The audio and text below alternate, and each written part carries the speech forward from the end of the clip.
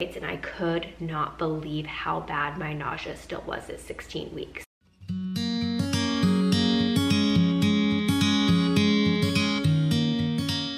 Hey you guys, welcome to another video, another pregnancy update.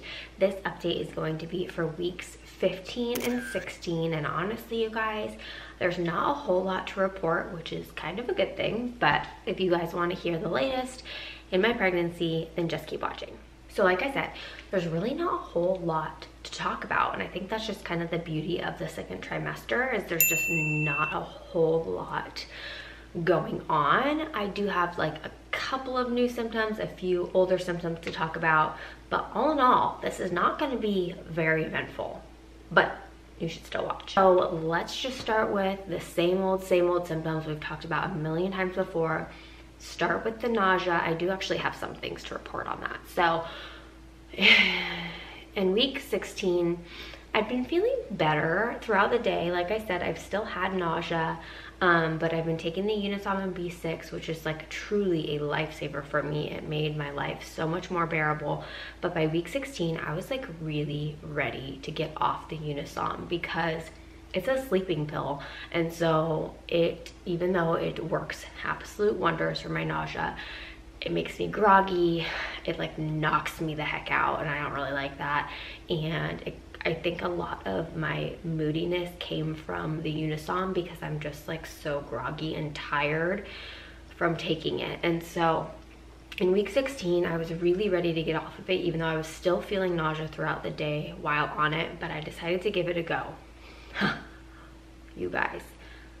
I think I stayed off of it for two nights and I could not believe how bad my nausea still was at 16 weeks. Like completely different than my last pregnancy. It was like first trimester, I was gagging again. Like I haven't gagged in a long time because the Unisom um, helped so much.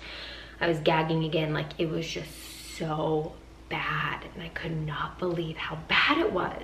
So I got back on it again. Um, I will have updates on that again because I'm now into my 17th week and I have tried again to get off of it and I have some updates for that but you'll just have to stay tuned till the next pregnancy update to hear those. But I couldn't believe how bad the nausea still was at 16 weeks. It was like, holy cow. So thank God for Unisom because I don't know that I could have survived this pregnancy without it if it had been that bad the whole time. So like I've said a couple of times before, I've felt pretty moody. I feel like that is getting better as things progress. It's funny because in this update in my last pregnancy, which I always link down below, the corresponding update to my first pregnancy, I talked about how moody I was in that one. I feel like my moodiness hit a lot earlier in this pregnancy and is now starting to level out, where in my first pregnancy, it was like at the peak right now.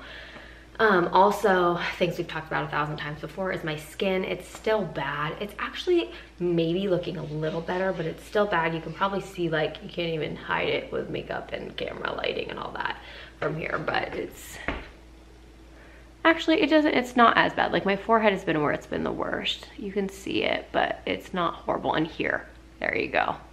Like total hormonal acne. So still struggling with the acne but I mean, honestly, whatever. Like, I stay home most of the time. It's not a huge deal. Fatigue, I had mentioned previously, it seems to be getting better. It is, but it's like, I'm still tired.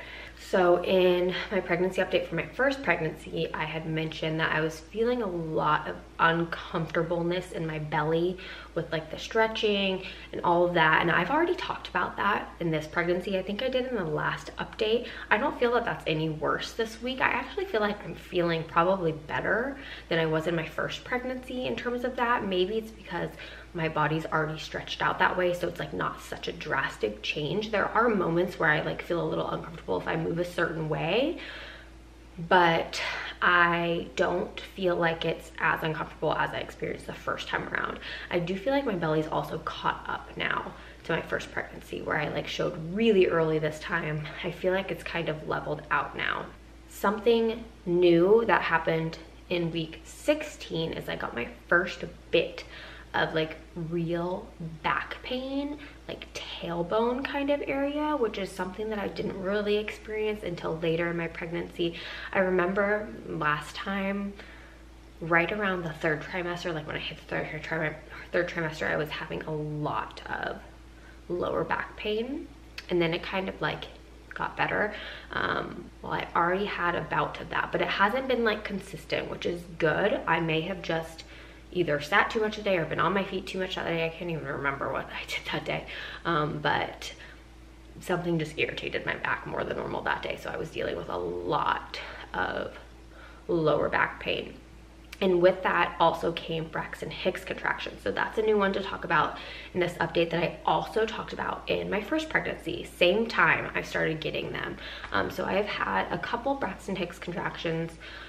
Nothing wild. Again, I feel like I experienced them worse in my first pregnancy. Again, maybe because it's just the first time they've happened, but I have certainly had them this time. Just minor cramping, like my uterus gets really hard. Um, I had them pretty good the night that I was having really bad back pain and I also know that that day I did not drink much water and that kind of goes along with Braxton Hicks. They tend to be worse if you're dehydrated. So that's probably why they were feeling so bad that night. But nothing crazy, but I have been experiencing some Braxton Hicks contractions and which is funny because when I went into labor with Lian, I totally thought I was having Braxton Hicks contractions because I'd had so many through my pregnancy. It was like no big deal. But those turned out to be real labor contractions. And then one other thing that I talked about in my last pregnancy was that was the update that I had felt baby move for the first time. So you guys know I've already felt baby move way back in week 13 was the first time. But in this update in the last two weeks, I have felt him so much more frequently. I think in my previous update, I said that it was just kind of like here and there, nothing super strong, but I did feel him every once in a while. But now I'm feeling him every single day. Mostly I notice it at night um, once I've kind of like laid down and I really feel him a lot, but it's happening more and more frequently the movements are more and more distinct and I've actually felt a few on the outside as well. Getting much bigger and those kicks are getting bigger and I'm just feeling those movements more frequently. So that's fun. And honestly, you guys, that's really it. I haven't had really any new cravings. I haven't had any like crazy new symptoms. Braxton Hicks was really the only new symptom that I felt in the past two weeks. So not super exciting, but that's what it is. So I'll show you guys my belly. I said, I think it's starting to even out with my last pregnancy. Can't tell if it's focused. There we go. I mean, it's getting pretty round. He's certainly growing.